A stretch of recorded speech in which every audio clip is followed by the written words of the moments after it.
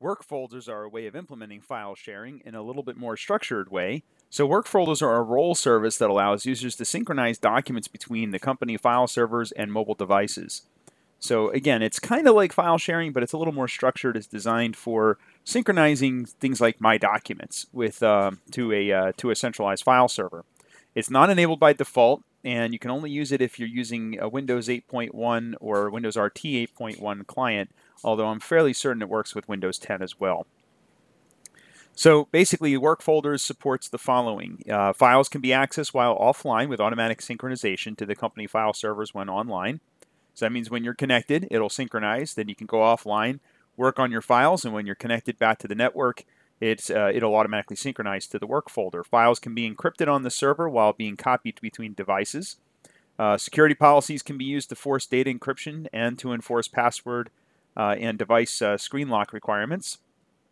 High availability methods such as failover clustering are supported, so you can use work folders in a Windows 2012 cluster.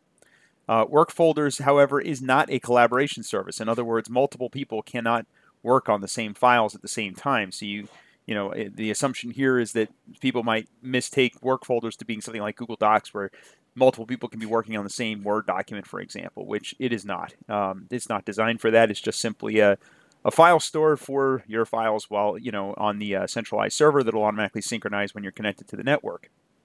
So the requirements are uh, you have to have Windows Server 2012 R2 server that is going to be the work file.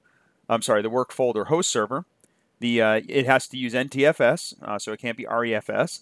The server certificate for each uh, work folder uh, on the host server, so you have to have a, a certificate um, which we'll talk more about certificates later on. The client device has to be Windows 8.1, uh, although, like I said, I'm fairly certain this also works with Windows 10.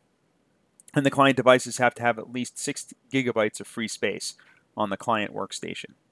Uh, so to install, you're going to use the add roles and features uh, in Server Manager, which we've talked about before, just like you would add any other role. Um, so it'll be under File and Storage Services, File and iSCSI Services, and then you'll install it. That's basically it. So it's a pretty straightforward service, uh, but another option available in Windows 2012. In the next slide deck, I'm going to talk about Windows printing.